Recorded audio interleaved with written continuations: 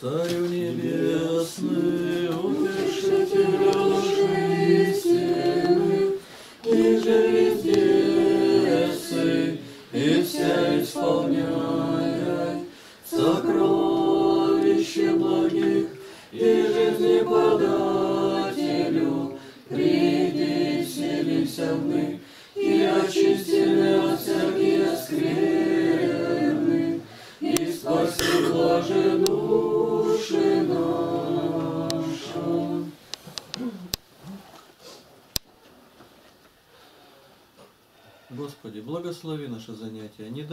уклониться ни направо, ни налево от истинного понимания божественных Твоих слов. Сохрани нас в любви, единомыслии и согласии по Слову Твоему. Хвала Тебе, честь и поклонение, Отец, Сын и Святой Дух. Аминь. Так, пройди по всем комнатам, всех туда, быстро. Кто там есть? Так, маленькое вступление Между окнами и серединой не надо, наверное. Утром сегодня здесь занятие вел Игорь Дыбунов. Он что, за не мог? Что у него? Идем. Дебунов сейчас приедет. Не знаю, Марину повез домой, сейчас приедет. Он готовится к больницу? Да, готовит. Ну, сегодня он проводил занятия. Ну-ка, давай посмотрим. Взрослых у нас мужчин сколько? Раз, два, три, четыре, пять, шесть, семь. Сестер. Раз, два, три, четыре, пять. Кто там еще где есть? Шесть. Шесть, семь на семь. Почему у нас сестры не ведут занятия? Даже непонятный вопрос. А чего ради-то их? Жены да молчат. Сам говорит. тратить? Почему? Да, пища. Надежда Васильевна ответила. Что она говорит? Громче. Жены да молчат. Нет, она не будет громче, чтобы несколько раз переспросили, это она из-за двери так стучится. Жены да молчат, она говорит. Так. Сам учил, говорит. Ну там написано про церковь. Церкви. А мы где? Мы же не на улице. Ты не думаешь, что четыре дочери Филиппа, будущим пророчеством, они молчали, сидели? Как они, пророчествовали про себя или друг дружке рассказывали? Себя. Я не, ничего не меняю, просто хочу знать ваше мышление. Чтобы не говорили, что сестры у вас куда-то задвинутые там такие и сидят-то. А вы про детские занятия это говорите? Он вел детские Сначала занятия? ко всему относится, потом по-детски. Детские сестры ведут в основном. Значит, мне мысль, мысль подана, ну надо так теперь. Детские занятия вели сестры здесь. Ну, вечерами, и, ну, довольно заметно. Ведет занятия Игорь. Как вы думаете, чьи занятия предпочтительнее? Когда сестры ведут, и сестры грамотные, с образованием, и знающие. Или когда брат ведет, вот Игорь, конкретно брат Игорь. Мне нравится больше Игорь. А? Мне Игорь больше нравится, как Тебе ведет. больше нравится. У тебя ребятишек тут. Так, другие как думают? По, по- по очереди, может быть. А мне нравится, как сестры. Вот это сегодня Володя записал. Ролик. Ну, я честно. Я его назвал так. Занятие ведет Дыбунов Игорь. В подражание Клименту Ан... не Анкирскому, а Хридскому. И написал «Житие 5 июля». Только ветка, кто пожелает узнать, а кто же такой Климент Ахридский? И почему 5 июля? Там они найдут его житие. Но это надо искать житие. 12 томов. Открыть месяц июль, и там найти пятое число. Вы думаете, в интернете из 5 миллионов, которые к нам открыли, многие зайдут туда? Нет, конечно. А вы можете вкратце нам рассказать, чем он проявился? Одним какое-то отношение имеет к Дубунову. А вот какое? Когда вы его житие прочитаете, посмотрите, это житие только одно такое. На 1173 жития, которые ну, я насчитал. Постарайтесь найти и запомните 5 июля. Климент Охридский, Болгария. А можно еще сказать? Ну, давай, громче. А я думаю, еще можно спросить мнение детей. А? Мнение детей можно спросить Давай. по поводу учителей. Спрашивай. Вот у нас три учителя, да, Давай. бывает? Так, Надежда кто- кто на Александровна, Надежда был? Васильевна, Игорь Ну еще кто? Владимирович. Мало детей-то. Кто? А, Елена. Как по отчеству? Елена Валерьевна. Елена Валерьевна, четыре. Так, ну спроси. Ну вы вопрос слышали? Непредвзято сказать, кому нравится больше, кто из Ну, учителей. Как-то мне слово не нравится. Что более вам запоминающееся, такое твердое, дольше вы запомнить можете. Ну и желали бы, чтобы преподавателем был именно мужчина. Настраивайте Игнатьев. Слово твердое предполагает в вопросе, что вы уже настраиваете на мужскую. У вас вопрос некорректно. Говорят, твердое, вы уже настраиваете на мужчину ответ Ну детей. неправильно, обязательно. неправильно так. Но все равно не буду спрашивать, просто пусть отвечает. Галя очень плохо. Я выделил одно качество, твердость, знание, интерес. То есть у Ну вас давайте желание встретить. Елена, говори. Дядя Игорь, дядя Игорь. Вот два, два класса здесь бы было. И У нас вели бы занятия сестры, которые наши, верующие. И вы, вы- вы в какой класс пошли? Я так могу задать вопрос? Корректно?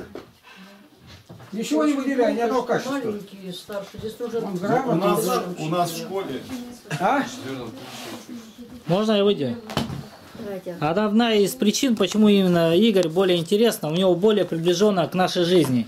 То есть и он много приводит примеров именно из жизни. Потому что у него очень большой опыт, как сказать, плохого опыта, греховного. Но однако на этом можно научаться. Ну ладно. У меня только одно Ну, замечание. Надежда Библию он знает. Слово. Пусть скажет она. Елена. Ну, убери локоть с Евангелия. Я хочу сказать вот что. С детьми вести нужно...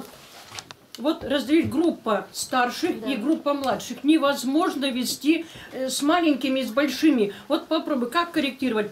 Обязательно нужно отдельно. Здесь нужно два учителя для старших и для маленьких. Во Францию уехала Раиса. Она очень интересно проводила занятиями с маленькими, а потом с большими. Вот так интереснее и более это более и практично, эффективно будет. И они лучше... С этими начинаешь говорить об одном посвященном, а маленькие сидят, они ничего не понимают. Они просто присутствуют и все. А вот Всё, со да? старшими Тогда я вопрос задам на это. Обязательно... Когда показывают, вот так, ну все сказала, Да. посадите, она сама не может уже сесть. Колени под, подогните ее. Ой, ой. Когда показывают, что такой-то человек, такой он вырос, эрудит настоящий, и показывает, это дворянская семья, там собирались у него салон, много поэтов было, художников, беседовали. Почему? Ребенок присутствует, он ничего не понимает. Но почему в этой среде, в этой атмосфере вышел такой, которому в то время никого, ни одного Клещевского больше нету? Карамзина. Почему? Такая была обстановка. Ну и они-то не приноравливались на таком уровне стихотворения рассказывать. Они просто присутствовали. Иногда даже на уровне сна. Я сплю и слышу, как мама молится дома. Мне вот сюда все зашло. И уже не, я не могу ничего сделать. Это как, ну, показывает кино Маугли. Его поймали, и дальше уже все, уже одетый, на ноги встал, ботинки, штаны у него все есть. Но как только отвернулись, он на четвереньки опять в лес попер, в грязи там вывозился. Довольный такой, не понял, ничего уже не сделать. Он уже вырос там. Вот где надо закладывать. Не поэтому. Я вам рассказывал один такой случай. Вот в Америке был. Класс девятый. Совершенно не- неуправляемый. Учительницу пришли, они на один урок ее не хватает. Она прибегает к директору, «А это невозможно, это, это, что за дети, да, это, это другое. Ну вот я больше никого не могу. Попробовал всех, а женщина директор. И наконец приходит к ним один, прихрамывает, учителя нужны. А когда вы были учителем? Ну, я давно учителем был, то лет 10 назад только. А где были до этого? Ну, я воевал в такой точке, в Алжире был, говорит, там. А, а должность какая? Сержант. Это даже не офицерский состав. Так у нас класс такой, что а вы инвалид. А он стоит такой, ну, попробуй, то можно, можно. Ну, он говорит, когда зашел первый, ты помнишь, я рассказывал? Да, степлером. Ветер, ветер распахнул э, там форточку, то у него галстук куда завел, да, за галстук схватился, он и степлем раз его приколол к себе. Те вот такие глаза, и все замерли сразу. Они не знали, что у него тут корсеты, он к нему-то деревяшкам-то прибил-то. Итак, ребята, первый вопрос будет такой. И все, класс затих. Я сразу вспоминаю, у нас учитель был, Александр Иванович Цыганков. Вот чтобы вам понятно было, кто такой, маленько повыше сделать Королева Сергея Павловича. Такая у него голова. Потом, он говорит, где-то в университете преподавал. Ну, учащиеся иногда хулиганили. Из спортзала взяли, принесли гирю и поставили к учительнице, учительскую. Учительница одна дернулась, э, закрыта. Она не закрыта, гирю вплотную поставили, двухпудовую. И вдруг мы, ученики все видят. Он идет, две двухпудовые гири вот так вот зажал и идет. по залу прошел, никому не говорил, учебный зал, в Корщино было это дело. Все так и замерли. Двухпудовый гирь для него как будто бы это по килограмму где-то. Видно, что он держит, не прижимая к себе. Все кончилось. Вот мужчине, они на другом уровне чувствуют. Это серьезно, это защита, и он более углубленный. Я не говорю о всех, а о наших сестрах. Вообще. Вот школа, почему такое разнеженное поколение? Преподавателей мужчин нету. Ну, может, физкультуру только. Там история еще, чтобы ничего не делать и не запоминать. Он будет рассказывать. А остальное сплошь женщины. Сплошь. Вот отсюда. Поэтому у нас пока кто есть, тот пускай будет. Хорошо? Чтобы не роптали за углом. Почему тебя не выбрали? Тебя не выбрали. А его никто не выбирал, и сегодня выскочил. А можно я буду читать? Батюшка говорит, ну и делай. Это по-моему. Однажды мы едем около Байкала, и со мной сидит один отрок наш. И говорит, так далеко заехали, так это так можно и доехать и до Хабаровска. А до Хабаровска пилить, допилить. Я говорю, а ты знаешь такие предложения делать? Что? Ну, расскажи дальше. И поедешь. Дальше. Все, Мы доехали. Доехали. понятно. Мне нравится выражение такое, я сразу перегнулся через сиденье, говорю, вот это дело я организую, ты и поедешь. Да у меня назначено, там груз приходит, папа. Так было? Припомни. Никак нельзя там накладные. Я говорю, назад ходу нету. Ты предложение сделал, оформи его теперь. И он как раз и поехал. И поехал не до Хабаровска, а Владивосток и Находка. Так было. Предложение давать. Сначала подумай, можешь ли это сделать? А нет, сразу подними руки. Не могу и не нашел, кто может. А Исаия обязательно выскочит. Меня. Так что готовьтесь в лагерь. Можно одно замечание по Игорю Дыбунову сделать? Да можно не говорить. Нет, я вот в этом зале сегодня молилась, потому что жарко было. И слышно только Игоря Дыбунова. Игоря вот этого не слышно чтеца. Да. Настолько громко. Володь, ты вот А снимаешь, я ты ему замечание делай маленько. в храме. Он так громко Я здесь говорил ему, в прошлый раз тебе говорил, ты сказал, хорошо. Вы считаете, а вы не считаете, а проповедуете. Тихо, не про то понял. Протопоп Аввакум, Протопоп. Кондратьев его фамилия. Он проповедовал так, что слышно было на другом конце деревни. Деревня, деревня-то не Потеряевка была, когда двери были в храме открыты. А когда считаем, слышь, Куприна, Не слышу. Анафима, он Игнатий- говорит так, что паникодило звенело, то есть эти свечи, которые стеклянные, они звенели в храме. Игнатьевич, Лена сказала, что надо потише себя вести, а не погромче читать. А я вы, понял, так. вы наоборот не- Нет, он так громко здесь ведет занятия, что за стенкой его голос слышно бу-бу-бу-бу-бу-бу-бу, вот А, так я громко. не понял. Я понял, что там, когда считается. Ну, хорошо, что я так неправильно понял. Вы аппарат одевайте, Игнатий. Давай. Одевайте аппарат. И еще по возрастным группам, что вот маленькие могут присутствовать на занятиях старших, но для них отдельные занятия. Хорошо. Ты, которую проповедь читаешь, ты ее не считай, а проповедуй. Дома где-то выйди и начинай, как будто ты Златоуст, далеко народ слышал по улице. Попробуй. Может получится. Тогда из храма сбегут, Вы читаете, считаете чужое. Идите на него могу. А, а ты знаешь, по бумажке считать и другое. Это Петр Первый запретил. Он что сказал? Мало того, что у баптистов разделение даже А, произошло. Петр Первый, почему запретил? Министр выходит, считает, другой считает. Он сказал, не считать по бумажке. Дабы дурь каждого видна была. Он выйдет, как Ельцин, да пять минут не скажет. Дабы дурь каждого была видна. Учитесь этому, здесь считайте пока, но учитесь быть проповедниками. Вопрос можно? А вот готовить проповедь самостоятельную можно у нас? Или мы Нет. это пока не делаем? Не будет. Мы уже это пробовали, ничего не получилось. Вы, ту- вы волокете туда, что вас на скакуне не догонишь. Будем считать только то, что есть. Я батюшке сегодня устроил вопрос. Батюшка, что ты считаешь-то? Ну, журнал. А кто автор? Не знаю. Поэтому меня в интернете спрашивают. Я теперь впереди батюшки на проповеди вопросы ставлю, в конце вопросы. Теперь будет он отвечать. Он даже не знает, кто это сказал. У нас так не положено. В церкви запрещено это считать. Церковь запретила каноном. Что в журнале это не написано, что считать церковь-то. Ну, пока вреда нету. Считать только Златоуста. А все остальное отменяется. У меня вопрос вот по собранию. Вы сказали, у пророка Исаи нечистые уста. На. А чем они нечистые были-то? Ну Так ладно, почему кто-то- меня тут спрашиваешь? Ты у него и спрашивай. А, Библии я с ним не знакома. Да не я, не я определял. Определение другое там ему было. В Библии же написано. Ну, в Библии написано. Бог, вот, ну посчитайте, откройте это место. Исайя. Послушаем, как это было. Когда в присутствии Бога ты сам себя увидишь, что не то. Одно дело, ты там перед ребятишками, перед мужем, но в очах Божьих ты себя увидишь вдруг не такой. Не знаю. Какая глава Глава какая, Исайя? Обыщите. Ну, открой хотя бы шестую. Шестая, по-моему, глава там. А какие там слова? Серафим. Серафим должен. Ну, начнем, допустим, шестую. Я не знаю, где в шестую, пока почитаем. Нечистый уста. Читай слух. Забей. Седьмой стих. Так, шестой стих. Тогда, шестая глава, шестой стих, пророк Исаия. Тогда прилетел ко мне один из серафимов, и в руке у него горящий уголь. Нет, ты впереди посчитай. Зачем он херувим-то? Бумажку.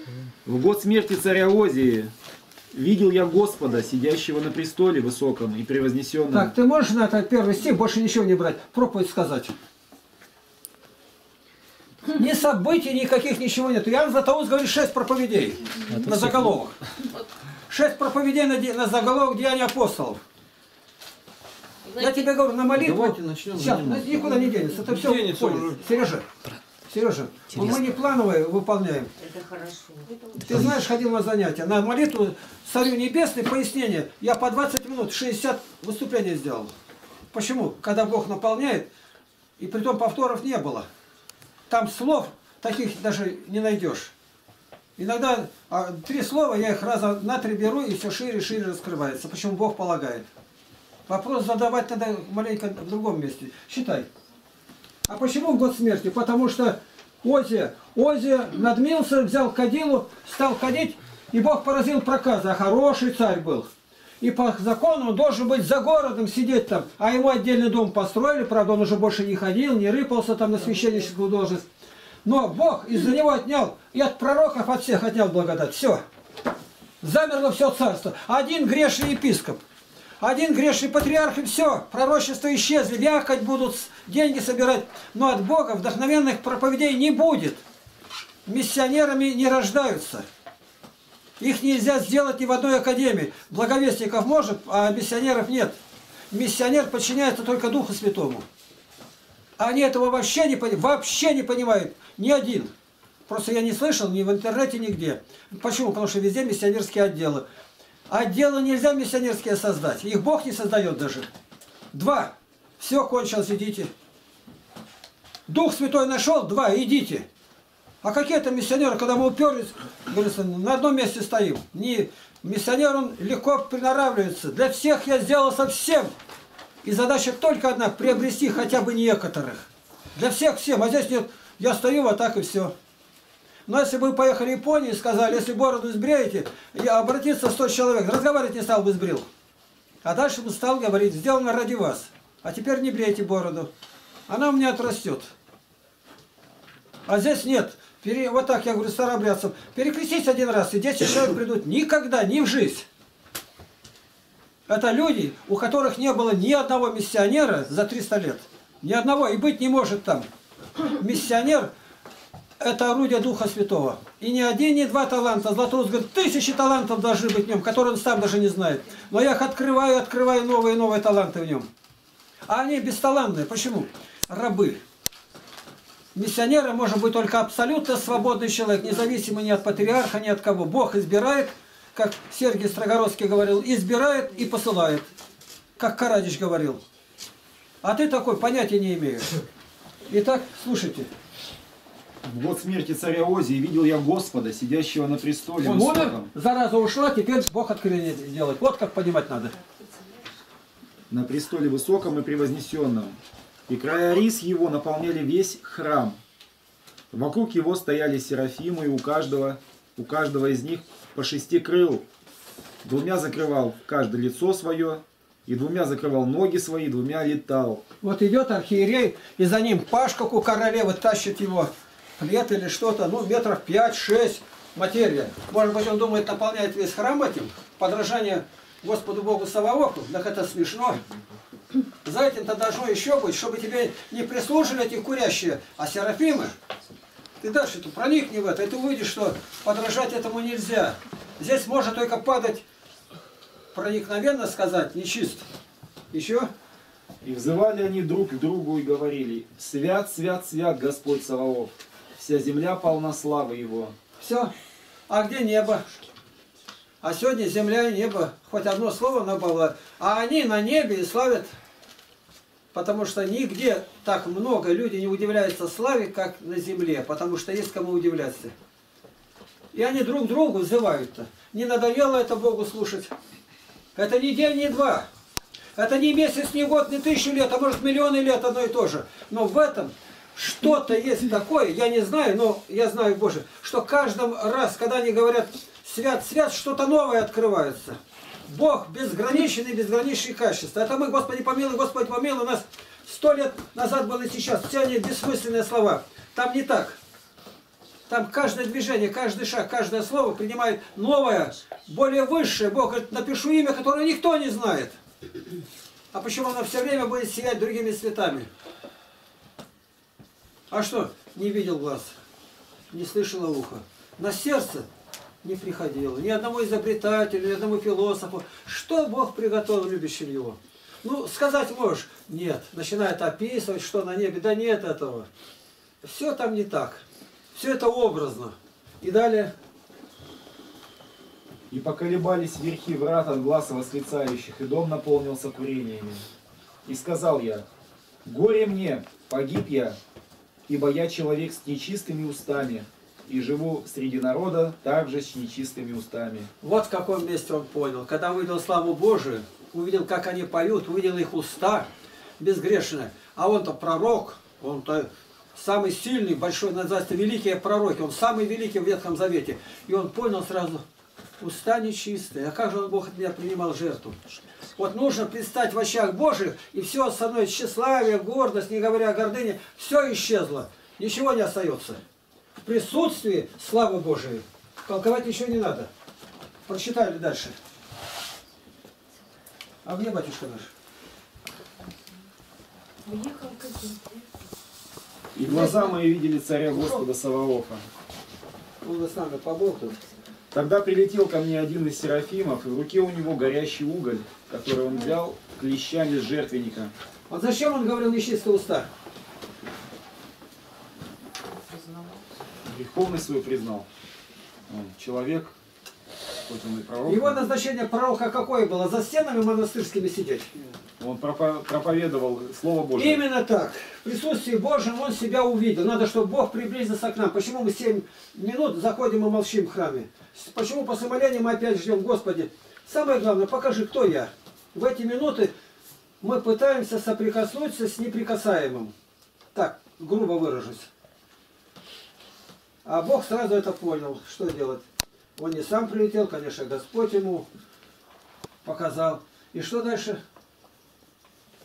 И коснулся уст моих, и сказал, вот это коснулось уст твоих, и беззаконие твое удалено от тебя. Это, что это не очищен». знает, считает, это причастие. Ну тут написано, и в руке у него горящий уголь, который он взял клещами с жертвенника, и коснулся уст моих. Это клещи, клещи, это сказал, вот ложечка, это коснулось уст твоих. А? Это, ну, возможно, это уголь, или это не уголь. Мы не будем говорить, мы не знаем, показан был уголь, так и скажем. Но церковь толкует, что это клещи, это ложечка. Уголь это причастие, попалит, это попалит во мне грехи. Ну мы же считаем, да причастное после причастное. Дальше. И услышал я голос Господа говорящего, кого мне послать, и кто пойдет для нас. Для И- нас. Для кого? Для сказал, Бога, для Троицы. И я сказал, вот я, пошли меня. Все. Господи, я. Ты если умыл ноги, то умой голову. Ну ни один же этого не сказал. Как бы Петр это не сказал, не выскочил, мы бы не знали, что умытому только ноги умыть надо. Он омыт в святом крещении. Вот что мы получили из этого. Поехали. Ну ведь, Игнатий Тихонович, ну ведь он один это видение видел. Их же не сто пророков там рядом стояло. Он один видел, и Бог конкретно вопрос задает. Ну ты, это Раз ща- он ты, один, ты- он ты сейчас это говорит. увидела? Вот. Ну и скажи, Господи, пошли меня по Теряевку. А я и С собиралась, возиться. собиралась я и так. Ну вот и все. Вот ты тоже увидел, соприкоснулся. На что написал и Пушкин-то стихотворение «Духовный жажду и томим». В пустыне лежал. В пустыне Бога мрач... глаз ко мне возвал. Восстань. Концевая жара. И что? Восстань, пророк. И вишь, и внемли. Исполни славы моей, обходя, Волю моей. да, моря и земли, глаголом жги сердца людей. А кого жги-то, когда сам пень трухлявый? Кого ты сжечь будешь? Дым дымит, ни огня, ничего нету. Поехали. Во имя Первое послание фессалоникийцам, четвертая глава. Я сейчас главу прочитаю, она небольшая, а потом будем толкование читать. Засим, братья, просим и умоляем вас Христом Иисусом, чтобы вы, приняв от нас, как должно вам поступать и угождать Богу, более в том преуспевали. Ибо вы знаете, какие мы дали вам заповеди от Господа Иисуса. Ибо воля Божия есть освящение ваше, чтобы вы воздерживались от блуда, чтобы каждый из вас умел соблюдать свой сосуд святости и чести, а не в страсти похотения, как и язычники, не знающие Бога чтобы вы ни в чем не поступали с братом своим противозаконно и корыстолюбиво, потому что Господь мститель за все это, как и прежде мы говорили вам и свидетельствовали. Ибо призвал нас Бог не к нечистоте, но к святости. Итак, непокорный не покорен не человеку, но Богу который и дал нам Духа Своего Святого. О братолюбии же нет нужды писать к вам, ибо вы сами научены Богом любить друг друга. Ибо вы так и поступаете со всеми братьями по всей Македонии. Умоляем же вас, братьям, более преуспевать и усердно стараться о том, чтобы жить тихо, делать свое дело – и работать своими собственными руками, как мы заповедовали вам, чтобы вы поступали благопричинно перед внешними и ни в чем не нуждались. Не хочу же оставить вас, братья, в неведении об умерших, дабы вы не скорбели, как прочие, не имеющие надежды. Ибо если мы веруем, что Иисус умер и воскрес, то и умерших в Иисусе Бог приведет с Ним. Ибо сие говорим вам Словом Господним, что мы, живущие, оставшиеся до пришествия Господня, не предупредим умерших. Потому что сам Господь при возвещении, при гласе Архангела и трубе Божией сойдет с неба, и мертвые во Христе воскреснут прежде. Потом мы, оставшиеся в живых, вместе с Ним восхищены будем на облаках встретения Господу на воздухе. И так всегда с Господом будем. Итак, утешайте друг друга сими словами. Я Первый- вопрос бы задал. А, м, что самое сильное на Земле? Вот самое-самое сильное. Кто знает? Любовь можно. А, Любовь. любовь.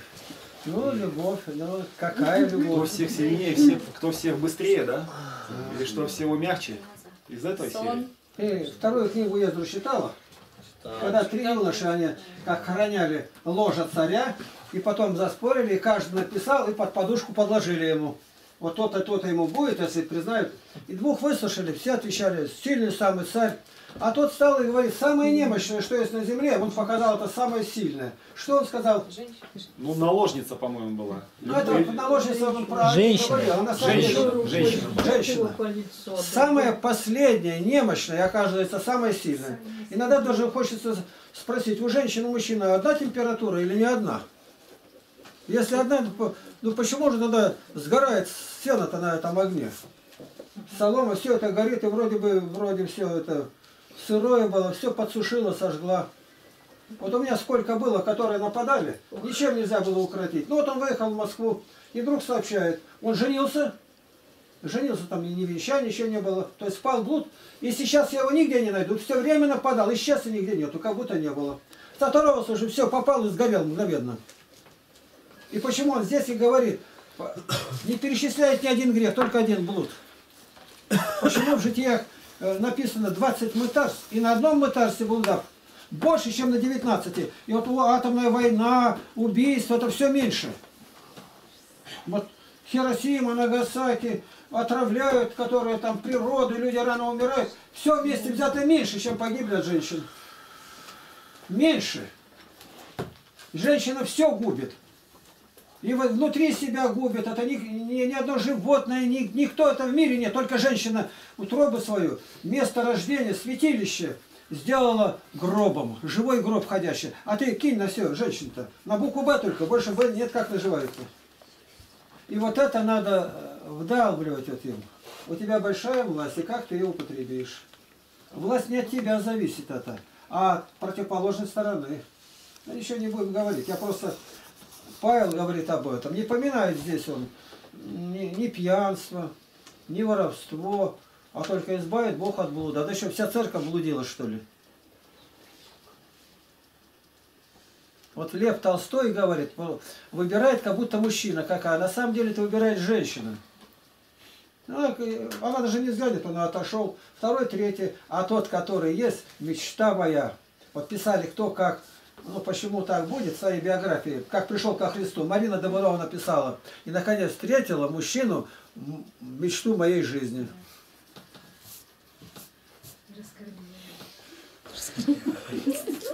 Ты посмотри на них как. И каждый думает, ну и все. У меня как-то были дома вечером, отдыхали девчонки были. И я спросил, вот, и, ну, вокруг которых вы видите верующих, кого бы вы хотели, ну, чтобы вот такая у вас, как говорится, судьба была, ну, жизнь такая была. Священники, ну, многих людей знали-то. Да, не знаю, я тогда начал называть по порядку, ну, кого знакомы-то. И они в каждом находили недостаток. Но вот вышли замуж, ни у одной нету, чтобы было похоже. И все одинаково, хуже некуда.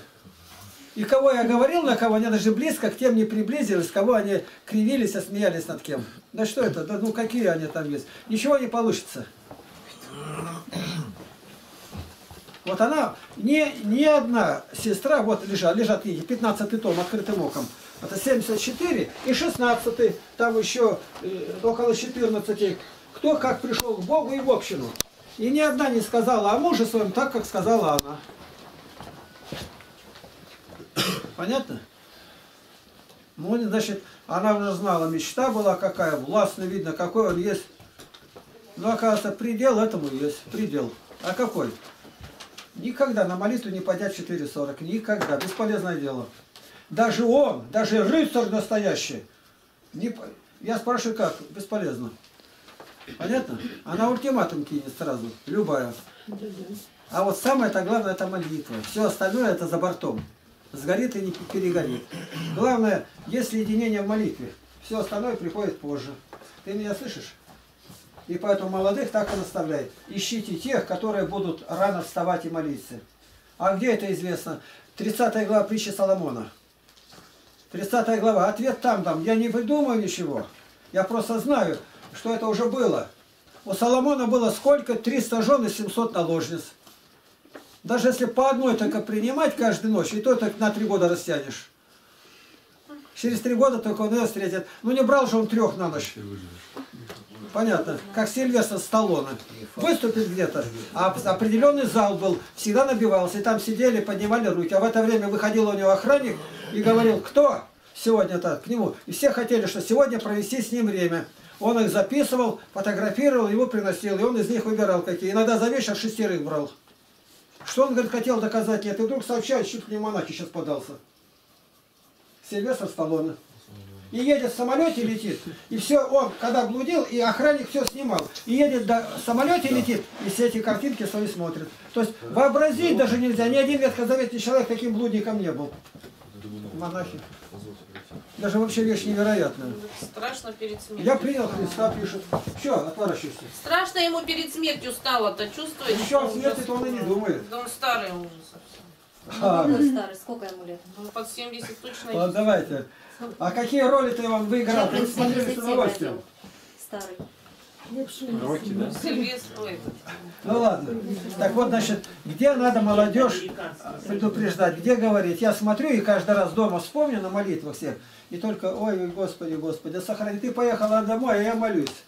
Молюсь, Господи, могут дорогой захватить и скажут, о, кого я захватил целым гнездом, да каких я взял, да иди сюда, там другие, там какой-нибудь там, ну, другие, которые там за этим охотятся-то. Я только молюсь и молюсь, доехали, не доехали, доехали, не доехали. Понятно? Надо сегодня это все видеть. Думать об этом. Поехали. 1 Фессалоникийцам 4 глава 6 стих. Чтобы вы ни в чем не поступали с братом своим противозаконно и корыстолюбиво, потому что Господь мститель за все это, как и прежде мы говорили вам и свидетельствовали. Толкование. Выше апостол говорит о блуде вообще. Теперь говорит о прелюбодеянии, которое справедливо называет лихаимством и преступлением.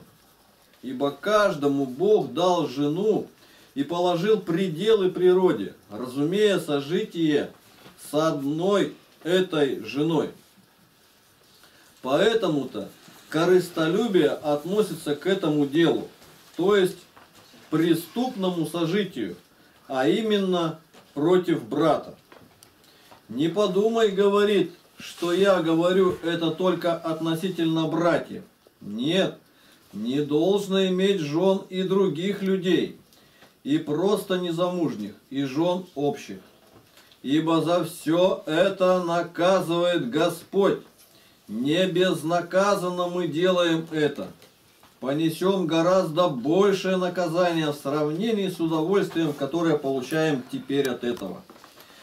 Смотри, сначала апостол умолял, потом пристыдил, сказав, как и язычники. Затем посредством доводов показал гнусность этого порока, назвав его лихаимством. И, наконец, он устрашает и напоминает им, что об этом они часто слышали от него.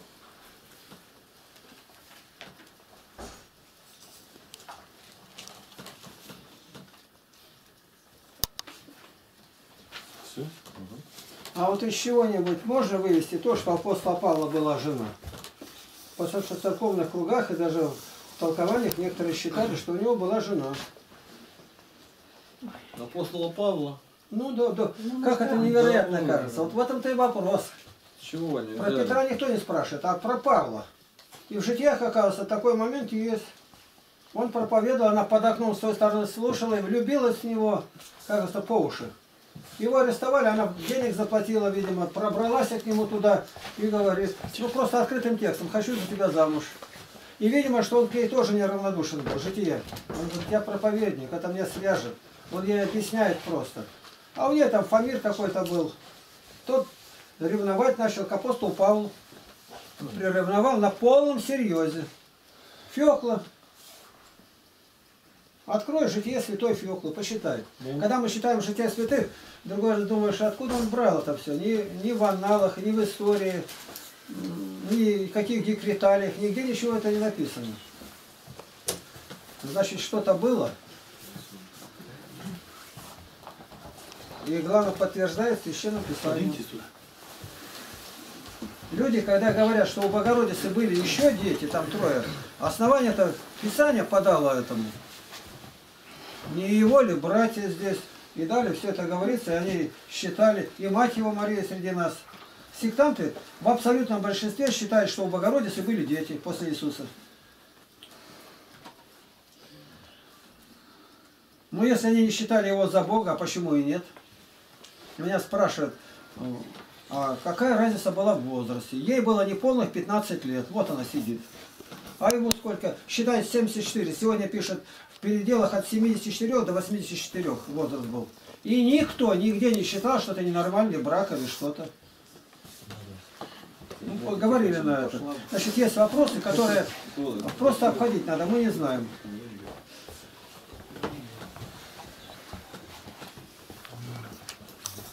Идем дальше.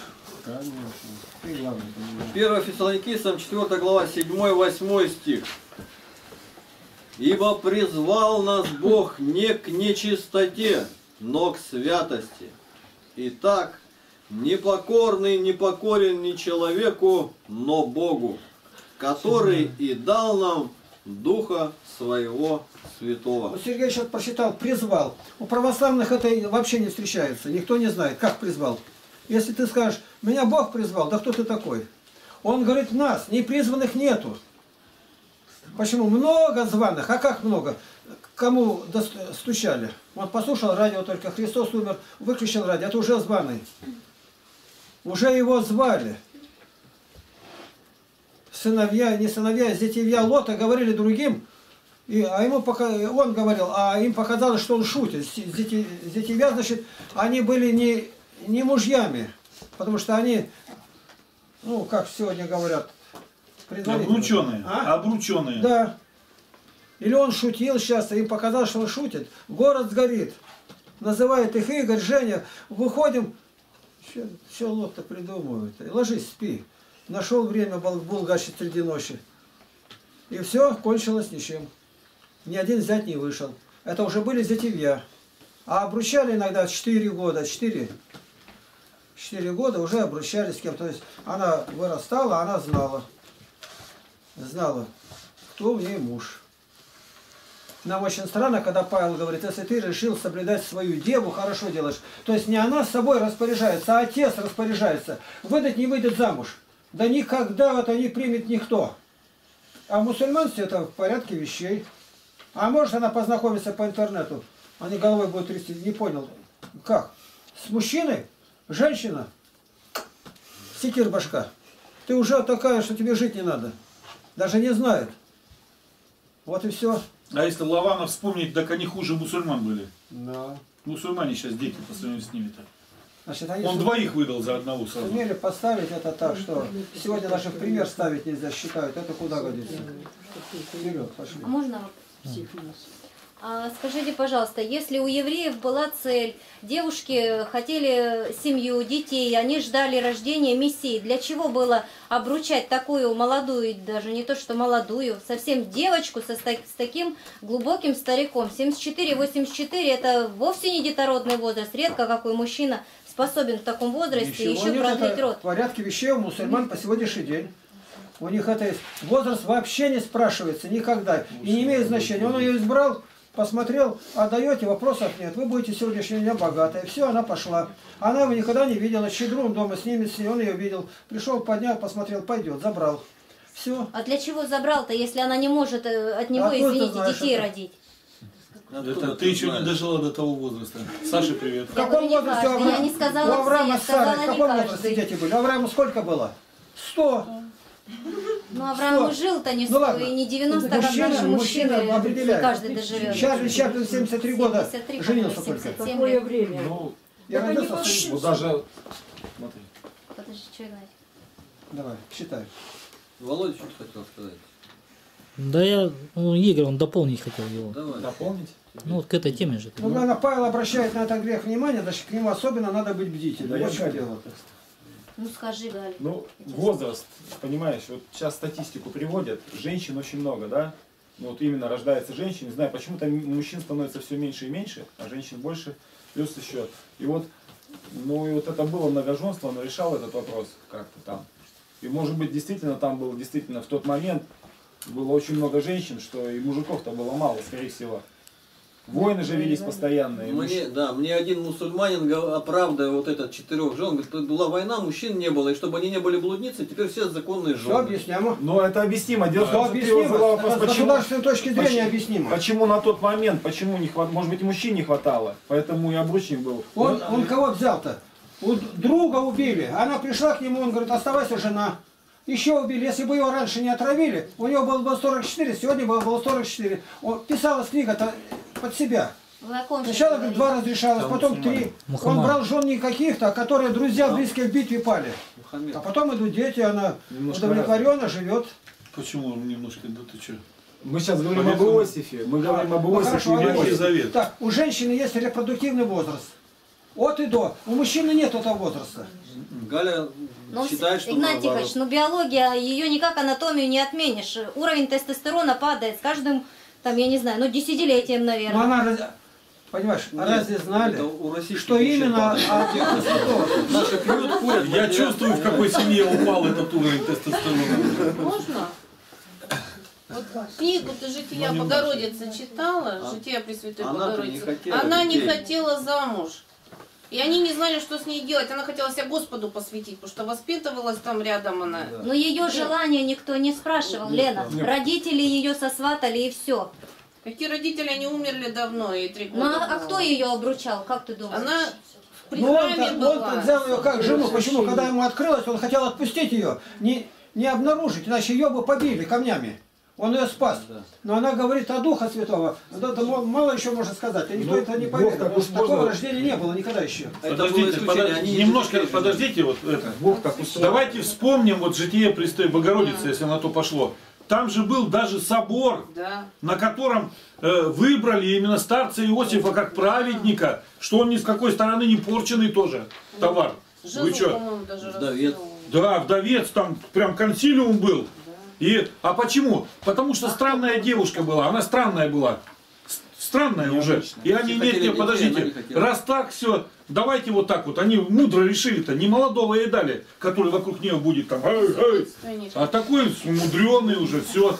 Он сразу не будет кидаться. Видите, как все получилось-то? Жизнь Ну, же там это тоже мы можем принять и не принять. Ну да, можем это, принять, это думаю, нигде что- неизвестно. Я считаю, это все монахи накрутили.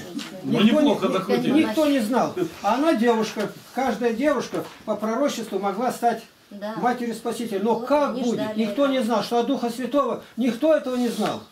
И поэтому, чтобы только, а если она избрана, а не вышла замуж, любыми путями выдать замуж, а может именно она избранная. Я Вот объяснение-то какое сейчас. дается. Да. А как она замуж не вышла, а именно ей назначено было Богом быть матерью, а как она станет? И теперь пишет Иосиф охранитель. Охранитель его назвали потом, когда он решил отпустить. А зачем он отпускал ее-то? Чтобы не ославить. А ему-то какая разница была бы, если бы только охранитель ее был? Это вопрос, ну, а остальное это все сегодня напишешь. Католики пришли, что и сама Богородица не зачата не от таким, а от Духа Святого. Православие это уже не принимают. То есть конца этих сказкам не будет. Более естественно, что у нее были дети, сектанты признают, но это не так. Кто бы к ней после когда родила, известно. Ну, стало известно-то когда? Ну, ну, кому неизвестно, что жена Пушкина непростая жена. И тот, кто женился на ней, то думал, на ком женится-то. Ну и... А дальше уже вся эта история идет по-другому. Она могла стать женой убийцы мужа своего. Потому что он к ней не расположен. Не, не, это... Расположен был очень сильно. Да и она, судя по всему. Это уже другая история совсем. Давай, ладно.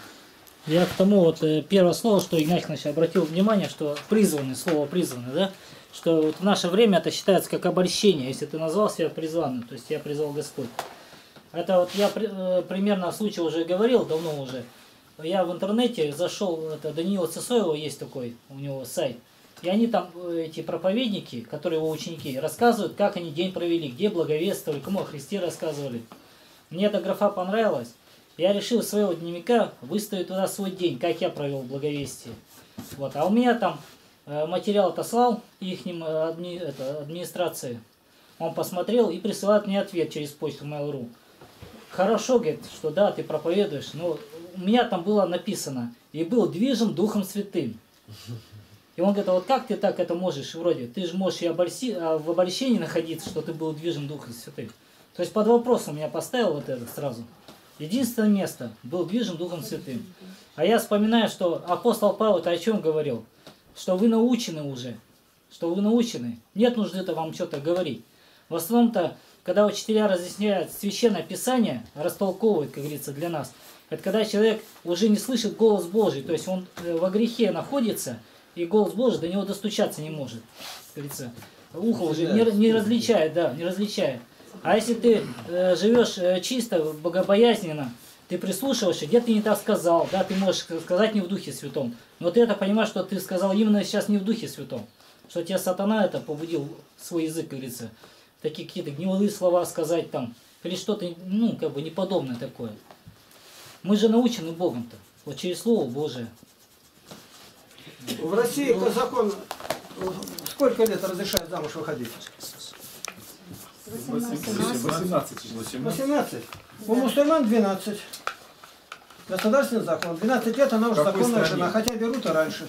Тут в какой стране еще имеет значение? А? В какой стране конкретно? Ну? Возьми Саудовскую Аравию, Тунис. 12 лет. Так они сейчас еще в Думе там по Чё? инициативе Жириновского Так, хотят, чтобы принизить хотя бы возраст, хотя бы до думал, что нет? 16. Думал, сейчас остановится. Это еще не одна страна. Но есть задача одна. Аллаху подарить пять сыновей. Мы считали про это. Русская женщина там, у Васильева какая была. 69 детей родила. 69.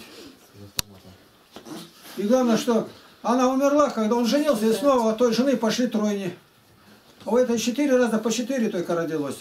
По четыре. И то из 69 только два умерло, 67 прожили из младенчества. Но это абсолютный рекорд. И там много, в каком возрасте, в старом, там, ну, теперь все известно это. Зарядил, я ой-ой-ой, там что, на это самое самое. Но главное, что ее имя даже не сохранили. Нигде нет. А это прямо записано, ну, исторические документы смотрят. По три, по два, по два несколько раз, остальное по три, по четыре. Всего она рожала 27 раз, кажется. Нет, кажется, 17 раз. 17 родов у ней было. 17. Возраст, в котором она вот это детей принесла, 50 лет у нее. Или 50 или 40, даже не знаю. Вчера мы с батюшкой смотрели. Невероятно. Вот думаешь, как он думал мужик-то? Каким местом? И не боялся. Представь, одних твоих только ребятишек 67 живых. Беседы бы новых. Тут уже никакой Роспотребнадзор не заходил. Сразу Главным сделал. учителем Ой, поставить это у детей. тестостерон. Это лучший кандидат. сказал. Ведь как ты- А вот этот Менгеле, который делал у Гитлера разные опыты над этим, он приехал в Аргентину, и он свои опыты перенес туда. К нему женщины приходили на прием, и почти все, которые приходили, он что-то там делал по-своему, почти все принесли двойню. Значит, что-то еще может, какое-то вмешательство. Нормально, только что-то дополнительно, то ли пили, то ли наоборот не пили. Удивительно как. Четыре раза по четыре ребенка.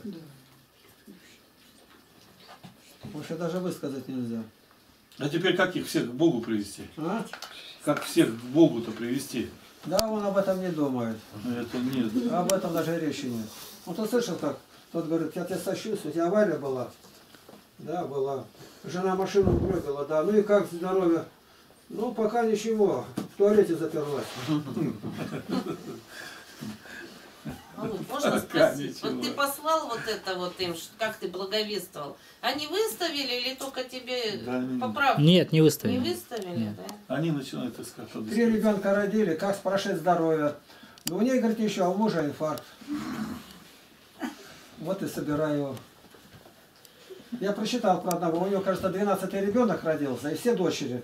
И он из роддома несет, а соседи, улица вся знает, и все только краешком через шторку. Все его жалеют. Сына ни одного нету. Это в России было. И он идет торжественно, несет дочь. И главное, 12 одни дочери. Ничего нету. А вот у евреев, кажется, если она 7 лет прожила, ни одного сына не родила, закон разрешает развестись. Солдаты нужны, армия. Но это а у ведь нас все наоборот от были. А ребятишки, ну, мужчины рождались, эти ребятишки, пацаны. А потом одни девчонки пошли. Да он-то тут при чем? А, Игнатий Ильич, а почему у евреев-то такой закон? Они А? же, они верят в Бога, во Всевышнего и понимают, что сыновья и дочери от. Всевышнего. Ну, мусульман точно так же. Если 7 лет прожили, детей нет, имеют право развестись. А это именно мужского рода нету. Страна в опасности. Нужны солдаты. Она рожает и рожает. Да другая-то уже трех солдат бы произвела для Рейха.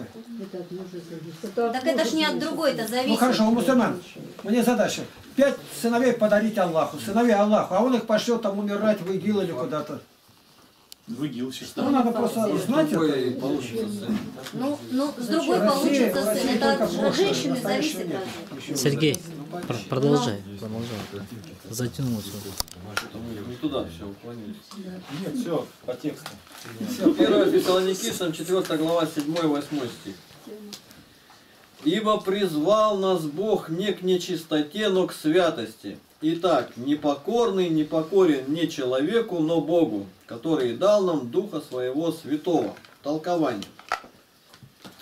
После того, как сказал, что ты наносишь обиду брату, и указал, что Бог отомстит, теперь распространяет мысль свою, показывая, что хотя бы это претерпел и неверный, все-таки виновный понесет наказание. Ибо не за него отмщая накажет тебя Бог, а за самого себя. Он призвал тебя для того, чтобы ты был чистым, и ты оскорбил своей нечистотою того, кто дал тебе Святого Духа. Поэтому-то осквернишь ли ты замужнюю твою рабу или царицу, вина одинакова, ибо ты Бога одного оскорбляешь. Хотя бы ты и блудодействовал, а не прелюбодействовал, все-таки Бог отомстит, потому что ты осквернил его духа. Или еще иначе. Бог, видя, что в таких делах мы оказываем больше презрения Ему, чем людям, отомстит за себя. Пред людьми мы стараемся, чтобы они не увидели нас своими глазами, а Богу оказываем презрение, несмотря на то, что Он видит. Да. Людей-то стыдимся, Интересно, заповеди Божьи не пожелает. Пушкин признал все 10 заповедей, но в одной заповеди не пожелай, говорит, все признаю, но только не пожелай рабу чужой. Вот это не могу понять. Зачем? Почему? Она раба, она не замужняя, он не пропускал ни одной. Заголовок. 113 любовниц Пушкина. Как Королев. Э, Он не пропускал ни одной, говорит, уборщицы никого. Кораблестроитель. Почему? А это как в любом грехе, клептомания, воровство. Один раз своровал, руку не отрубили, дальше он не может, тянется и тянется. Я говорю, зачем ты своровал? Да, гребелка красивая. Ну кому? Сестренки в лагере у меня воришка. И не знает, куда спрятать, некуда. А там была крысиная норка, он в норку засунул и засыпал. Гребелку, сестренки. А если ничего нет воровать, он говорит, фуражку забрасывает в картошке и ползет воровать. Ему все время надо поддерживать. Он не может. Называется клептомания. Это точно так же. А может отстать. Блуднику хорош, говорит, всякий хлеб. Он не перестанет, доколе не прогорит. А как, как сделать Бог? И внезапно, ну, у Соломона тысяча было, а у князя Владимира, когда он обратился, было две тысячи наложниц. В два раза больше Соломона. С какой целью, для чего? А потом внезапно все, как будто никогда не было. Встал, князь-то Владимир, у него же перемена большая была. Полностью отошел, как будто никогда не было. Ну, питье это наша радость, тут уж он не мог это. Питье его, народ-то прозвал его не как-то, а красное солнышко. Так что с детства в дети заложи вот это вот, говори, где опасность, самая большая опасность. Да. Же оно так?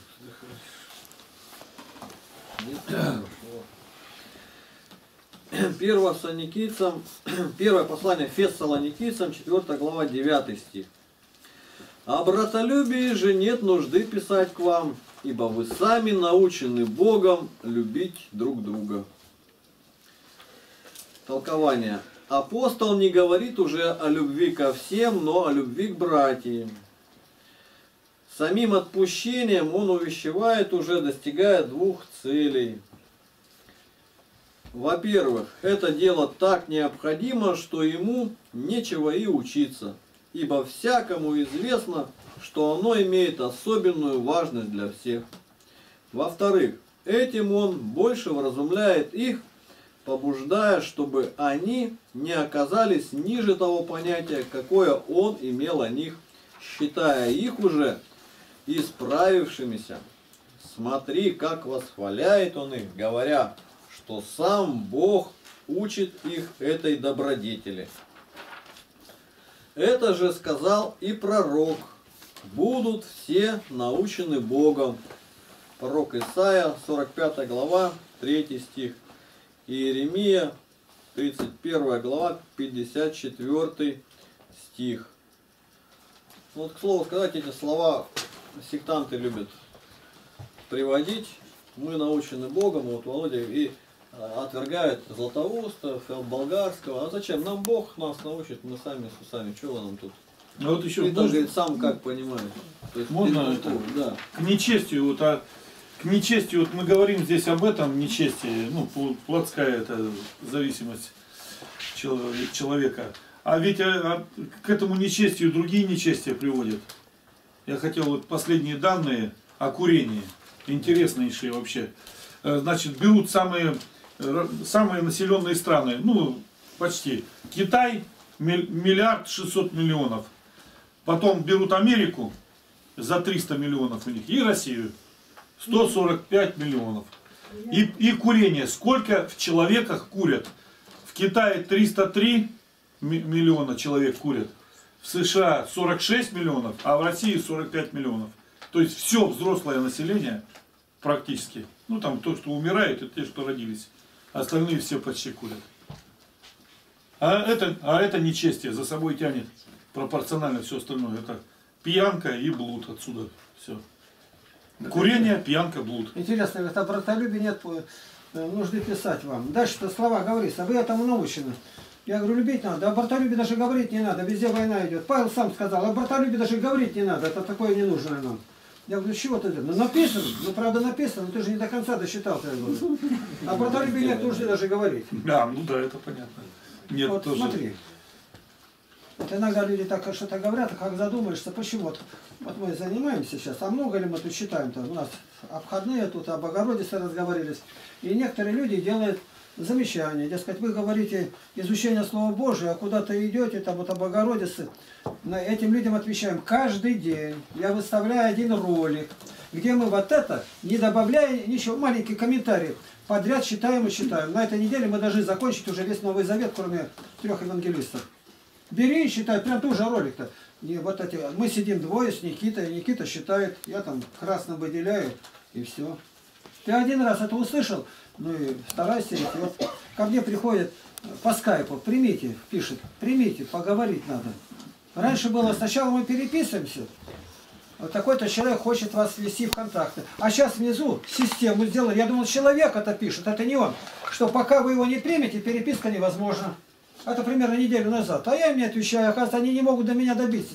Я взял только нажал, и он сразу вышел. Я не могу к вам пробиться. Это система такая, чтобы больше было общения между собой-то. А мне не нравится, я его не принимаю в контакт. А сейчас я принял, я могу и выбросить. Ну вот она вышла, там вчера разговаривали с Италией. Уже давно бьются, хотели поговорить. Начинаем. Ну, хороший разговор. Ну, просто хороший. Она думает, как? Вот я ролик уже выставил, на той неделе будет. Я говорю, я узнала теперь это все. Десятину надо платить. А муж э, говорит, «М, платить-то он вроде хорошо живет. Так я теперь говорю, надо платить, кто нуждается. А он говорит, надо священнику. Да кто из нас прав? А священнику пошли, он не берет. Ни под каким видом не взял, говорит. А почему? Да потому что навар-то. Кого там от бабок? Десятина-то. А то десятина есть, значит, ни за крещение, ни за что не должен брать. Десятина все покрывает. С тарелкой ходить не надо, как у нас тут ничего нету, десятина. Все покрыло. Полная тишина. Как делать? Я говорю, ты должна мужа слушаться. Сейчас принесите священник, он не берет, и написано, и положили к ногам апостол. Положите. И отойдите в сторону, смотрите, как с деньгами будут. Или тебе все равно. Нет, клади другой раз. Если уже явно будут против, тогда посылайте. То есть давали, не взял. А как свечки покупать? Они не нужны. Вы вложили все сюда. Это десятина. Все довольно. Ну или когда люди заходят, ему пора, а можно я еще к вам приду? Побеседовать. Я говорю, можно, только через месяц. У меня очередь стоит, я назначаю, кому какой день прийти. У меня времени совершенно нет. Даже сказать нельзя. Ну, я вот в 2 часа встал, и дальше начинаю работать. Ответить на письма надо. Люди-то новые приходят. Ну что ж, времени-то нет. Так, а другие уже толкуют. Знаете, он как их зомбирует людей? Говорит, через месяц. Я даже не знал, что может так. Это означает, он оставляет человека в напряжении целый месяц. А они думают, как бы его не обидеть, и все, целый месяц, видимо, так дрожат, как бы не пропустить этот день. То есть вот как он их зомбирует. Я никогда не думал, что это слово можно так вы, вывернуть. Оказывается, сатана очень искусен, он принимает вид ангела света. Другому я говорю, через неделю можешь прийти, видно, что у него очень важно. Но не раньше, через две недели. Он один был такой, пришел, и раньше, я говорю, на три дня раньше. Ну какое значение имеет раньше тут? Я говорю, ты как разговариваешь-то? Он начал, я его сразу в черный список. И он сколько не бился ко мне, больше я его не принимаю. Это я назначаю. Ты ко мне в дверь стучишься, у меня гости, а у тебя по другому делу. Я могу, я выйду, ты просишь на поле мне что-то взять-то. Черенки-то ты награда или что-то. Ну и все. И после этого сколько не пытается, он неоднократно говорит, по другими именами заходит, уже я его не принимаю. Один раз ты такое нахамил, зачем второй раз? Если один раз меня предали, то это и другой раз. События дня мы сегодня засчитывали, сейчас пошли у нас царь, папка царь. И как пишет Солженицын об этом, какой был царь. Очень и очень правильно, умно. Это все в событиях дня будет, за сегодняшний день. За 11, за вчерашний, за 11. И вот мы сейчас считаем. Считаем, и как будто бы ну, совсем не о том. Вот он прочитал, мы тогда раз ухватили грех, узнали, как он рождается, где это написано. А дальше уже пошли к Ветхому Завету. Репродуктивный возраст только у женщины. Вот мы считаем, пятая глава, там, 15 второзаконие. Если на мужа найдет ревность, ему покажется, что она где-то что-то, то, ну а как проверить-то? Если бы она была девушка, легко проверить-то. Но если она женщина, твоя была, она где-то там, говорится, за кустом снюхалась, и что? Пусть возьмет ее. То есть уже не спрашивает, возьмет ее и приведет к священнику. Ну а священник, наверное, исповедь пойдет, ничуть не бывало. В храм заходят тысячи людей. Пол-то земляной. Он берет оттуда землю, сосуд, размешал и дать ей выпить. Да сегодня же любой врач, да шарлатанцы. Вот если живот у нее спухнет, значит лона ее. Она виновна прелюбодейка. Да нужно удивляться, как не спухнет. Ты лошадь напои, она не спухнет, а сдохнет. Ну сказал бы, дай там аспирину ей глотнуть каплю или что, а то разведи в сосуде, да еще неизвестно, может быть, литры две. Вот она как, вздует ее, значит, виновна. Она кричит, не пила, не ела, не подходила. А пузо чего такое вдруг раздосил? Ну и все. А, да, а, если, а если она ревнует, а это нету нигде. У женщины ревность вообще не должна быть нигде. Все Писание нигде ни разу не упоминает. Забудьте про это. Ты не имеешь права ревновать. Ревновать может только Бог, которому он обращен. Ты подчиненная. И ты не можешь ревновать на начальника вот этого. Он может тебя. Вот смысл-то какой. Он поет их, у них спухает лона. Вы видите пузатый легион. Панагии лежат чуть-чуть с поклоном. Не могут совершить они один поклон. Это я стихотворение написал про архиереев. Панаги-то у них не висят, а лежат на пузе вот так вот. Лежат чуть-чуть с наклоном. И вот я сегодня немножко сказал про отца Александра Пивовара, чуть не закончил. Вот при таком таланте, как он говорил, у меня проповеди сохранились. Все проповеди его, не то что живые, а прямо с огнем. И вот мы едем в трамвае. И он говорит, а вы знаете, что вечером вечернее чтение какое? Я говорю, знаю. А какую бы вы проповедь сказали на это? Вот представь, человек с таким образованием. И я стою перед ним. Ну а я-то готовлюсь. Что положено, я каждый день готовлю проповеди, которые нигде никогда не появятся. Он только здесь. Я немножко отвлекся и написал, 1300 проповедей выставил. Написано. У меня их море, безбрежное, океан. Проповедей этих. Я ему едем, а я отвернулся вот так вот, у трамвая это стоим, двое заднего стекла. Я ему говорю, главное вот это надо захватить, вот это. Я гляжу на его глаза. Он входит меня вовнутрь. И вот он вечером выходит, в Новосибирске тогда был один храм только был, и говорит почти слово слово, что я ему говорил. Я же тут стою.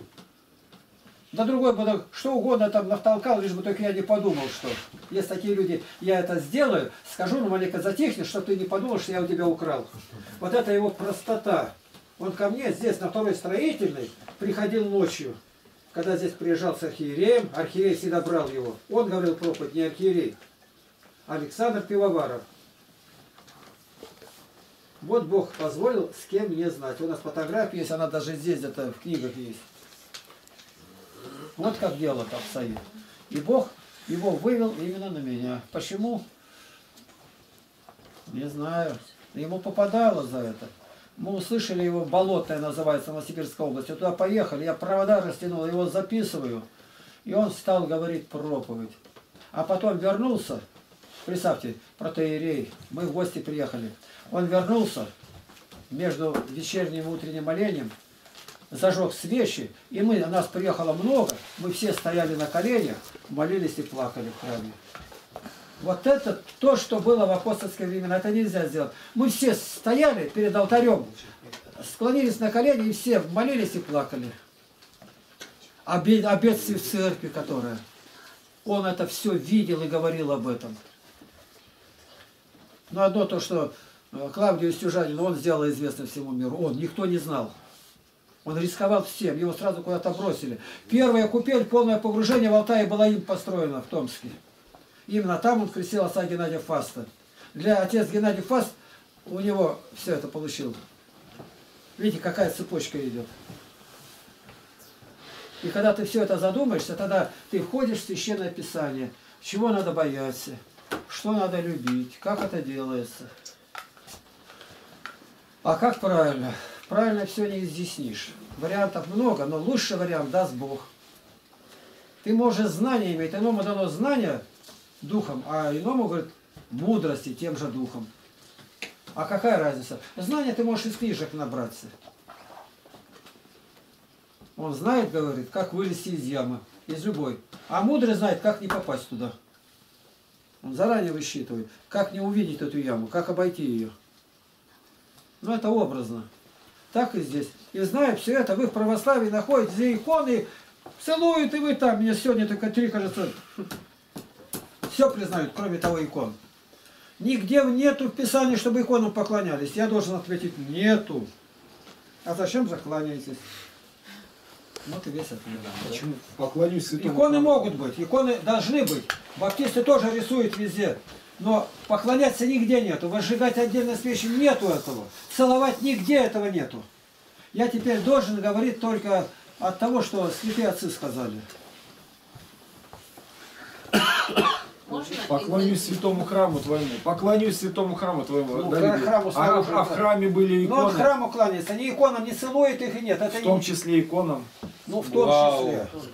Так нельзя. Как? Зачем? А храм из чего состоит? Да Они за- снизу зачем? до потолка были иконы. Ты за кого? За нас или Храм, за живет там? Бог его, сущий в храме Какая это истина? Он к храму-то кланяется не за икону, а за Бога. Он их и не видит эти, идет ночью. Не надо уши натягивать. А иконах нет. даже речи нет. человеческие. Люди-то идут, когда кланяются, идут на храм крестятся. Ты думаешь, храму крестятся? На самом деле это Богу и тем мощам, которые там находятся, тому святому. Все. А батюшка идет, и нас ходить люди поворачиваются. Нет этого, диакон или кре- когда ходит ходить-то. Он иконы, стены, я говорю, а стены-то зачем? Не стена, а иконы. Зачем? Иконы. А что, бес ладана боится? Я говорю, только прошел опять, что пока ты следом за тобой бесы идут, опять на икону заскочили. Опять идешь, ты вечером ты крутишься сколько раз? Не для этого, для того, чтобы нас сонных отлепить от, чтобы от стенок, чтобы стояли. Откурить нас, смотри, как пчел обкуривают, когда Ну, идут. это объяснение. Ну, бабушке, допустим, это понятно. А икона, э, ой, ла- э, кадила преобразует дым святых. Если возле Я не икон... о кадиле говорю, я говорю, иконы. Зачем Все раза- богослужение это И- символика. иконы, зачем три раза за службу кадить? Их же не протирают, а кадят. Не иконы кадят, а возле икон кадят. Это разные вещи. Кадит священник. А возле икон-то зачем ходить? Иконы, именно иконы. А возле икон что место? Можно повернуться назад возле икон. Нет. А ты Именно скрижаль читал иконы. или Ты уже тут не лукав. Ну, возле, возле я тебя ставлю, повернулся здесь. Так Что значит возле? что есть. Тебе я руку подал, тебя поцеловал, а не возле. Иконы, кождение икон так написано. Возле икон. Ты уж куда ты, ты залез? Уже начинаешь оправдать любое беззаконие. Да я не о беззаконии говорю, я его тут не вижу. Вот приехал архиерей или там кто-то, ведро Настоящий. поставил батюшка, и они, два священника здесь, или три, они стоят, а батюшка один с кадилом. Это ведро так прошел, так, И каждый раз останавливается, кадит ведро посреди храма. И он три раза, посчитай, сколько он кружит вокруг этого ведра. Зачем? За это время можно проповедь сказать. Я говорю, что, если ты один раз опустил, этого недостаточно. Почему все-то на три? Один раз это третий участок осветил, а потом увеличивается энергетика. Ну нет объяснения никакого. При, принято так, принято, но время-то уходит. Народ-то уйдет опять не наученный. Если ты три раза туда не опускал, три раза не ходил, не, э, не ходил, сколько часов-то у тебя уже, минут-то набралось, и ты вышел бы народу, сказал. А его тут эговистка какая-то встретила, и все. Ну, я тебе рассказываю, как из Беларуси мне писала эговистка-то. Она к нему, отец Кондратий, я хочу знать, зачем тебе Агафья это? Ну, ты ходишь, ты молишься все время, причащаешься. Ну, батюшка, охота Евангелие знать. Да не надо вам знать это. А вот они стучатся в дверь, две девушки, прилично одетые, эговистки. А не хотите Евангелие? О, Евангелие! Заходите, дорогие мои! Все! Месяц прошел, ни одной иконы уже нету. И она уже узнала за это время все, что ей не надо знать. А виноват этот отец, Андрей, к примеру. к примеру. Игнат Тихонович, можно спросить, Николай Лесков какой веры был? Лесков. Лесков, Да. православный. Он писал о старообрядцах, вот мы сейчас с Полей читаем, «Запечатленный ангел» рассказ. Вот вся вера, вот я так поняла, они очень верующие, да, они настолько прям, они иконы на себе носили, на груди, из места в место переходили, и строили сразу, приходят, не себе дом строили, строили комнату, расставляли иконы, и только чтобы никто снаружи посторонний не зашел, не увидел. Если кто уж сильно напросился, они прячут в чуланы, выставляют другие. И вот там о Христе нет, вроде как они понимают, что они в Бога верят, Богородицу признают, но почитание именно икон, такое страшное почитание, что забрал архиерей, ну, нового вот от Никоновского-то. Николай Семенович Да. это единственный писатель, когда Ленину представили список памятников, одного его только вычеркнул. И Чернышевскому, и, может, и Достоевскому, и Пушкину, которых представили ему, Ленину. И он только одного Николая Семеновича вычеркнул. Да, его вообще А неизвестно. на него священники сильно недовольны. Он, там, он не высмеивает, он говорит, как есть. Как было? Он говорит, Евангелие в России никогда не было проповедано как должно. Одну эту фразу простить ему не могут. Возьми несмертельный голова, ты считаешь, это гора. Да. Это вообще. Он насмеялся, а потом он умирал, Как трудно. коллеги. Узнали, как умирал, трудно, хотя не написано. Ну, злорадствует попы над ним. И я слышал Курил даже, там. будто бы он из священнической среды. Ну, то есть священники родные там были где-то. Вот которые само против Бога воюют, как Невзоров сегодня, это все там ездят, Баранов Михаил, это бывшие монахи, священники, Сталин, Каганович, это самое отъявленное. Вот Гитлер он в церковном хоре пел, которые близко были, самые страшные гонители. У Ленина, он не учился нигде в этом, но у него пятерка была. Закон Божий пять. Бога не Маркс знали. хорошо учился. Не знали совершенно, не проповедовали. Их а, особенно хорошо об этом написал Николай Касаткин, просветитель Японии, епископ Николай. Когда пленных там понавезли, и он с ними беседует, на тысячу человек буквально ни одного верующего не может найти. Вообще Бога не знают. И что, я ему верить не должен, или что? Он прямо идет среди них, спрашивает, говорит, вообще никакого понятия нету. Совершенно мирские люди. В конце концов взяли за оружие, царя в отвал спустили, и княжон всех туда. Все, русский мужик взялся за молотилку. Еще это нельзя было видеть, что без Бога нет. Никто не проповедовал. Колокол клепает, стоит часами. Так это проповедь. Ну да. Интересно, католики, католики, говорю, мусульмане, где Турция, все запретили звонить колокола, у них это не разрешают они, православным. Ну и сравни с ними, то у них-то как, он на минарете стоит, он не звонит, а он кричит-то, ну своя интонация. Возвещает. Да, он кричит, правоверные, э, Богу Аллаху молиться лучше, чем лежать на одном боку, там огонь загорится, приходите, молитесь. Это проповедь. Он растягивает ее, а тут колотит. Они И разрешили- Мухаммед, пророк его. да, православным разрешили только доску било вешать и бить в нее глухо, созывать монах. Вот и зовите себе. Понятно, что людям-то это со стороны-то видно, что ничего колокол не дает. А кто это сказал? Патриарх Кирилл. Раньше было в колокол ударили, говорит, все потянулись, а сейчас, говорит, из пушки бей, никто не идет. Никого нету. Патриарх Кирилл вот только сказал месяц назад, когда призывал на благовестие. Поэтому священники, выходите, он раньше еще говорил, на перекрестие, меняйте тактику. 2003 год. Они не Газета пойдут, «Труд». не пойдут никогда. А если бы было, что кормились от благовестия, от Евангелия, тут написано, говорит, и не давать им ни копейки. Кто не проповедует, тогда бы за, заблаговестили, наверное. А раньше как было? Они всех э, снабдили тем, что, ну, известием таким, ну, кто ход- ходил к ним. Как только построим новый храм, а строить-то его, ого, сколько денег надо, так люди начнут собираться. Колокола, белые стены, там иконы, там ну, ка- к- крестные ходы. И понастроили уже сколько этих храмов везде. Пона- Ну, тысячи храмов, это точно. А никто не идет. В Тогуле сделали вот этот храм еще. Говорили, ну начнется, сейчас начнется. Бабушки поумирали только вот в праздничные дни. Все, никого нету. Вот мама говорит у них, Бугачева, храм отгрохали, все, все, недавно отгрохал, там предприниматели его, там награды, все ему. Все, теперь тут священника нету, никто туда не хочет. Три километра от города Красноярска. Всего три. Огромная 15-тысячная деревня. Какая там деревня? Одни коттеджи стоят. Магазинов там, все, как в городе. Никто не идет из священников. Почему? Неудобно. Им там неудобно. Только в город все лезут. А храм стоит, там отопление, котельный, все есть. Ничего нету. И сколько? Три человека ходят. Мама моя уже вся больная, перебольная, убирается там, прибирается. И он к ней подходит, священник, и говорит, ну ты тут, я вижу, такая завсегдатайка, все, все, ты это, давай становись и на кассу тоже. И мама такая звонит радостная, сынок, мне такое почтение исполнить от батюшки, на кассу меня. Ну, я как и вставил, хорошо она выслушала. Я говорю, ты, ты что уже, все, совсем от белины, что ли, там объелась? Эйфорию попала. Ты еще на кассе будешь. Ну, прибираешься, это понятно. А из Тогола у нас кто был, Аксенов? Как звать? Татьяна, А? Татьяна Павловна. Ну и как она?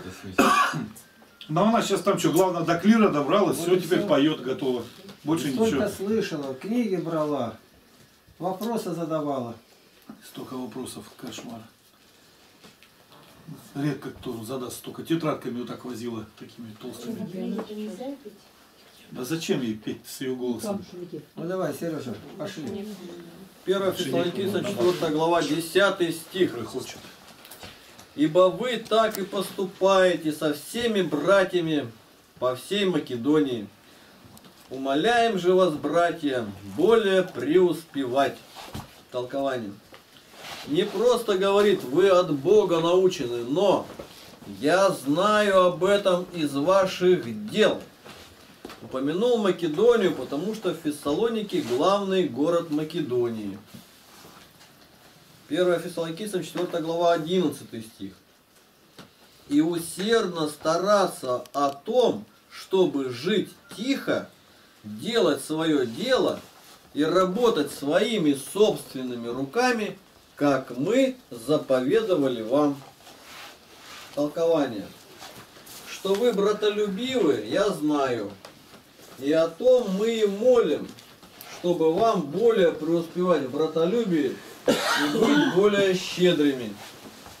Здесь может быть остановка, пауза в чтении текста, а потом читай снова начало, чтобы жить тихо или и усердно стараться о том, чтобы жить тихо, делать свое дело. Этими словами показывает, что они ленивы, занимаются тем, чем не следует, и беспокойны. Сказав же, и работать своими собственными руками, апостол пристыжает тех, которые оставляют телесные подвиги и ищут духовных. Скажите, неразумные, совершает ли кто-нибудь руками пост? Или воздержание на голой, или возлежание на голой земле? Нет. Между тем он говорит о труде телесном, который скоро- скорее есть духовный, о том, чтобы давать другим от своих трудов, именно бедным. А так как бедность про- произошла от разграбления имений, то он и учит их трудиться, чтобы можно было подавать милостыню. Если же он заповедует тем, у которых было разграблено имущество за Христа, то тем более другим.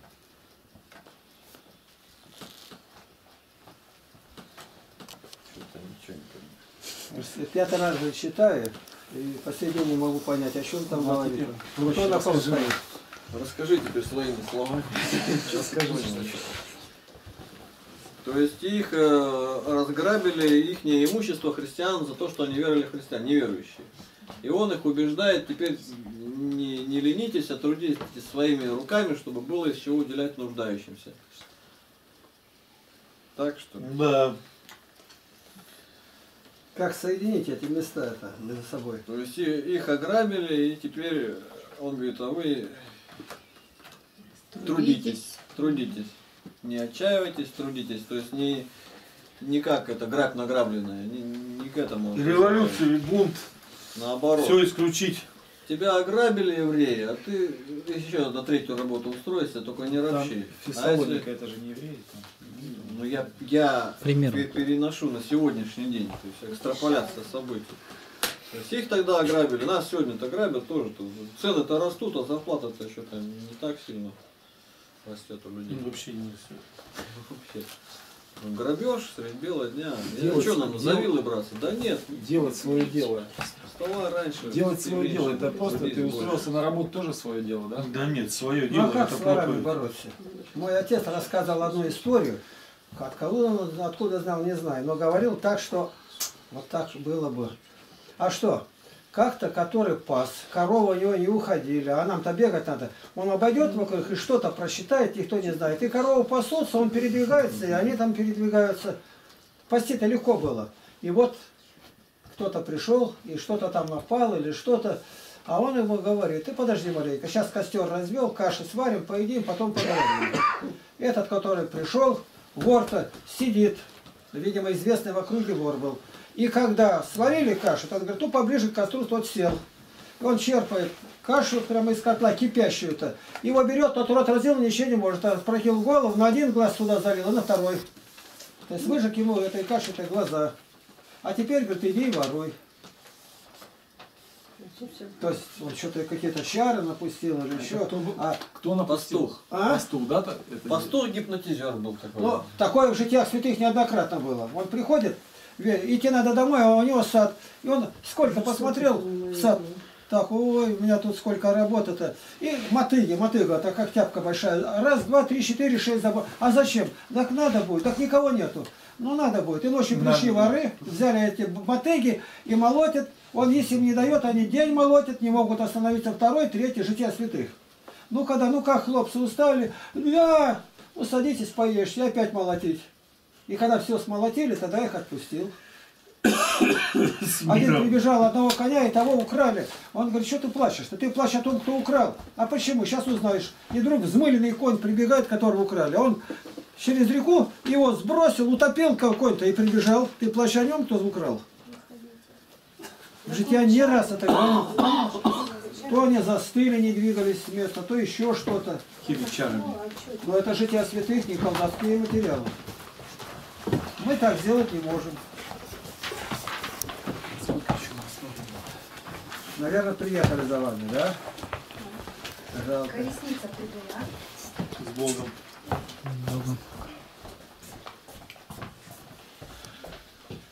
Ах, Сколько еще? ушла моя Две минуты. гвардия. Две минуты? Ну что, Сергей, там, наверное, уже... Еще один. Так, две минуты, давайте помолимся, давайте помолимся, Давай. пока детишки. Идите сюда, помолимся все вместе. Это правильный совет дам. вам. Давай сюда. А то как-то неудобно.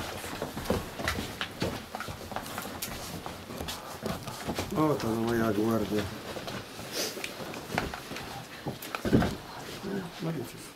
Достойно есть всякого истину, блажите Тебя, Богородицу, пресноблаженную и пренепорочную, и Матерь Бога нашего, честнейшую Херувим и славнейшую без сравнения Серафим, без истления Бога Слова родшую, сущую Богородицу Тебя величаем. Дайте Тихоч молитесь. Отец наш Небесный, любящий Создатель, мы предстали перед Твоим грозным величием. Ты даровал нам познать Тебя через откровение Духа Святого, что Ты истинный Сын Божий, единый во Святой Троице. И Ты принял плоть от преблагословенной Девы Марии. Слава Тебе! Что Ты коснулся нас Духом Святым, дал нам великий дар веру, этот дар неба. Ожидание суда Божия и Твоего второго пришествия. Слава Тебе!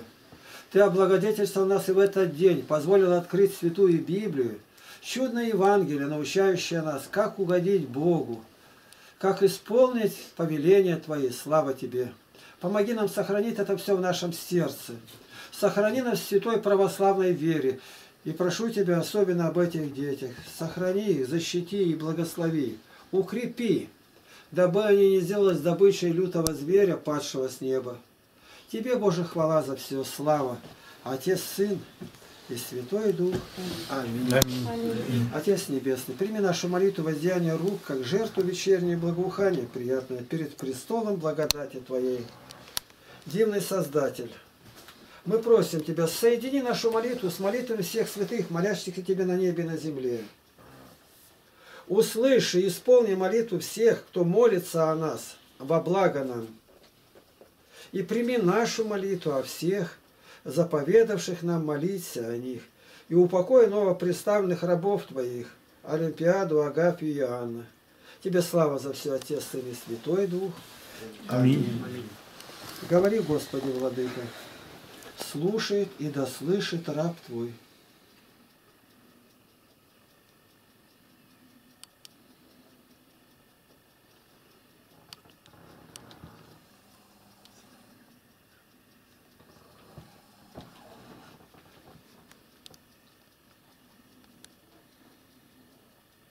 Аминь. Во славу Божию. Аминь. Спасибо.